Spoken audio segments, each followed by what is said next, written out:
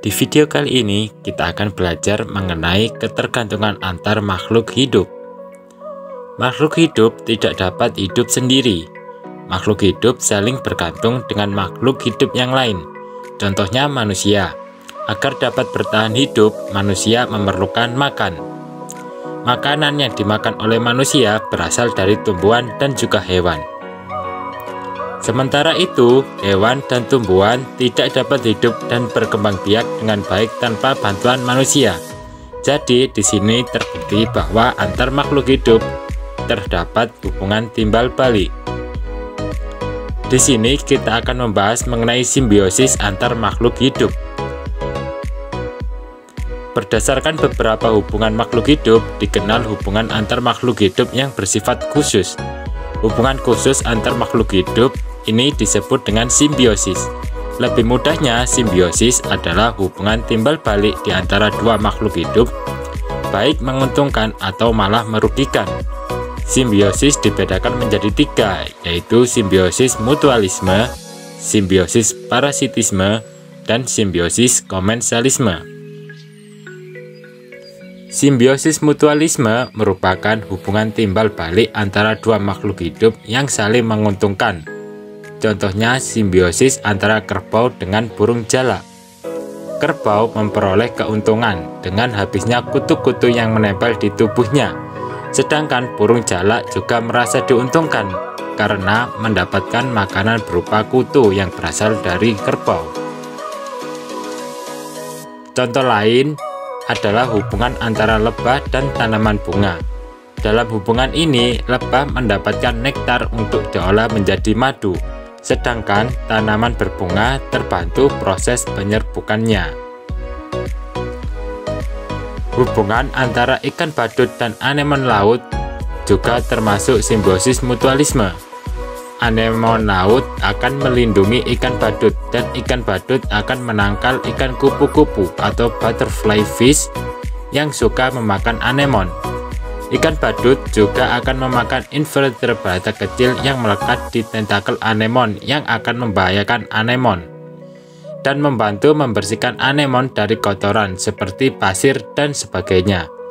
Nah, dari situ anemon laut dan juga ikan badut sama-sama diuntungkan. Beralih ke simbiosis parasitisme. Simbiosis parasitisme adalah jenis hubungan timbal balik di mana satu makhluk hidup diuntungkan dan makhluk hidup lainnya dirugikan. Contohnya adalah hubungan yang terjadi antara tanaman jeruk dengan tanaman benalu. Di sini benalu menempel di tanaman jeruk. Benalu merasa diuntungkan karena mendapat tempat menempel dan juga tumbuh. Benalu juga menyerap makanan dari pohon jeruk. Di sini pohon jeruk dirugikan karena makanannya diambil oleh benalu.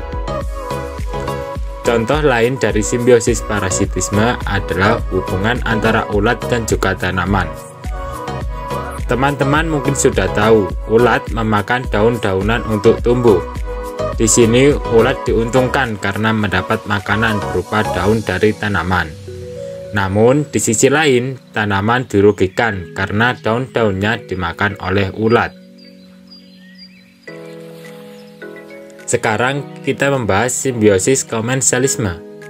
Simbiosis komensalisme adalah hubungan timbal balik antara dua makhluk hidup yang menguntungkan satu belah pihak dan di pihak lain tidak merasa dirugikan maupun diuntungkan.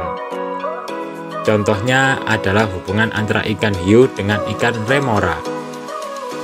Ikan remora dekat dengan ikan hiu dan turut menjelajah ke mana pun ikan hiu pergi.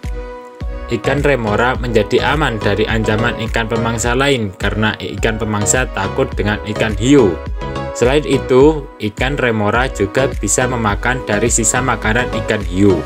Di dalam posisi ini, ikan hiu tidak dirugikan dan juga tidak diuntungkan karena ada atau tidaknya ikan remora tidak berdampak pada ikan hiu.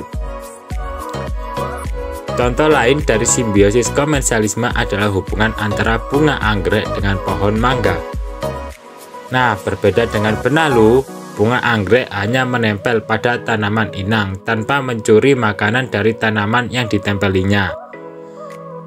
Oleh karena itu, di sini bunga anggrek mendapatkan keuntungan karena mendapat tempat untuk menempel. Sedangkan pohon mangga tidak diuntungkan dan juga tidak dirugikan karena adanya bunga anggrek. Sampai di sini penjelasan mengenai simbiosis atau hubungan timbal balik antar makhluk hidup. Semoga dapat bermanfaat. Terima kasih.